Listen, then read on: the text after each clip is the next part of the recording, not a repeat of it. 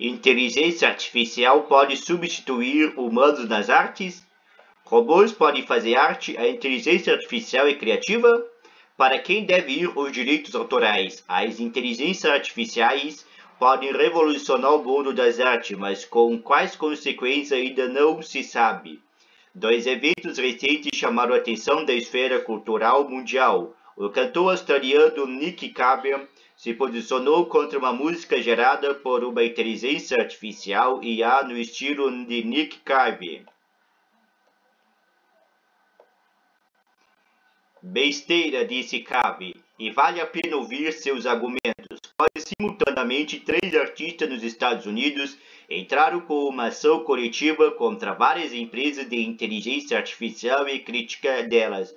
Roubo profano de ideias. Não há dúvida, a inteligência artificial está abrindo o caminho do mundo da arte, com quais consequências ainda não se sabe. Os artistas já estão preocupados com a autoria das obras. O mercado de arte faz seus primeiros negócios com a arte de inteligência artificial. E obras geradas por computadores já estão enchendo as exposições de museus.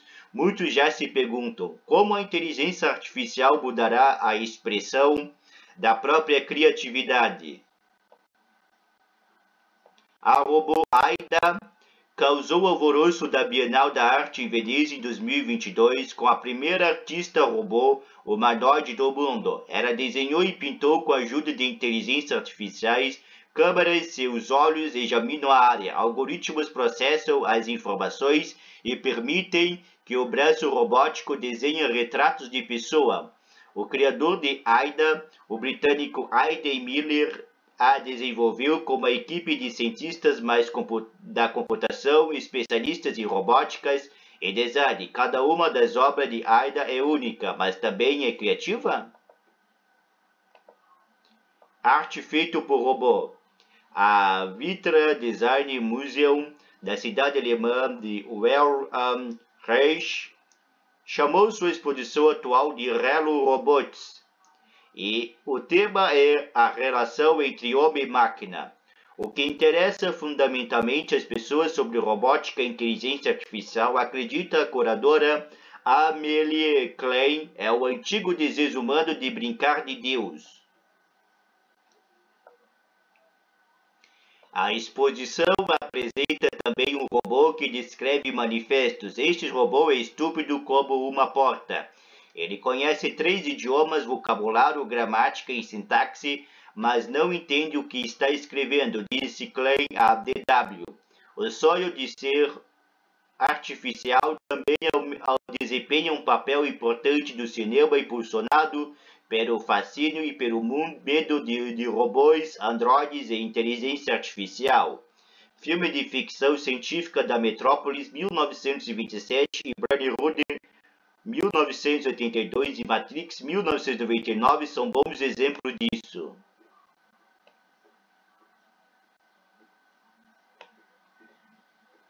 Mas a linha entre a inteligência artificial e a criatividade humana é tênue.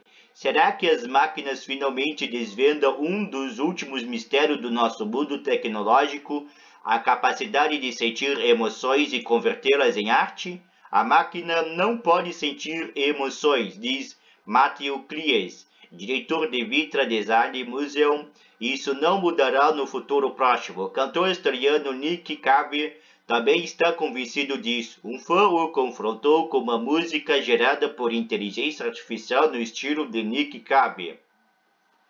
A canção sem título consiste em três estrofes. O refrão se traduz como: Eu sou o pecado, eu sou o santo, eu sou a escuridão, eu sou a luz, eu sou o caçador, eu sou a presa, eu sou o diabo, eu sou o redentor. Cabe reagiu duramente. A inteligência artificial pode ser capaz de descrever, um discurso ou sermão, mas não uma música real. Suas canções surgem do sofrimento da complexa luta humana interior por trás da criação criativa. A inteligência artificial não tem isso a oferecer. Algoritmos não sentem dados, não sofrem, diz Cabe em seu site. Obra de robô leiloada. quando um Rembrandtinho em folha apareceu em Holanda em 2016, ele saiu de um computador pintado no estilo do mestre holandês, criado com inteligência artificial alimentado com dados de 346 pinturas reais de Rembrandt, calculadas por inúmeros algoritmos que uma equipe de programadores, publicitários, cientistas da Delft University of Technology e especialistas da inteligência artificial da Microsoft a ensinaram.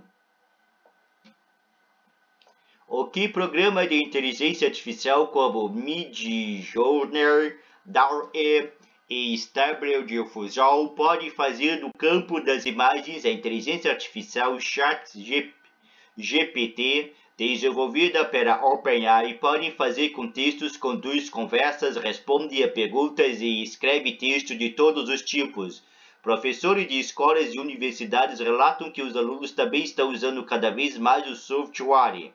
Em 2018, uma obra de arte gerada por inteligência artificial alcançou respeitável sucesso de venda pela primeira vez. A pintura Edmond de Bellamai, pintada por algoritmos que já viu sido alimentado com 15 mil obras de diferentes épocas, foi leiloada em Christian de Nova York por 433 mil dólares. O coletivo criativo francês Obvious inventou uma árvore genealógica da família de Bellamai colocou a obra em uma moldura dourada em vez da assinatura do artista, acrescentou o cantor em uma fórmula algorítmica. Quem é o autor? Mas quem detém os direitos autorais de uma obra gerada por uma máquina previamente treinada com milhões de imagens e textos prosseguidos por direitos autorais? De quem é a criação criativa, a realização intelectual única? Quem é o autor? A inteligência artificial? Os programadores? Por que não Picasso, Rembrandt, Van Gogh e companhias dos artistas e escritores cujas obras fornecem os dados para a máquina? Matthew Creers, diretor de Vitra Design Buzel, não acredita que a inteligência artificial pode substituir o aspecto emocional da arte da criatividade. Vincent Brits, diretor de arte motion designer e professor de Berlin University of Art, no entanto, compara a situação atual com a transição da pintura clássica para a fotografia. Via resistência, as pessoas diziam: Isso não é arte, isso é uma foto, isso é plágio. Então, fotografia se estabeleceu como uma forma de arte. E acho que será semelhante com a inteligência artificial, disse Brits a DW. Enquanto isso, três artistas, Sarah Anderson, Kelly McCarran e Carla Ortiz, entraram com uma ação coletiva nos Estados Unidos contra Starbury, AI, Midjourney e DeviantArt. Elas exigem indenização e uma liminar para evitar danos futuros. Em seu site, o advogado delas, Matthew Buterik escreve que o processo é mais um passo para tornar a inteligência artificial justa ética para todos até lá aos Paris, o que parece ainda há um longo caminho a percorrer. O post Inteligência Artificial pode substituir humanos às artes apareceu primeiro em Planeta.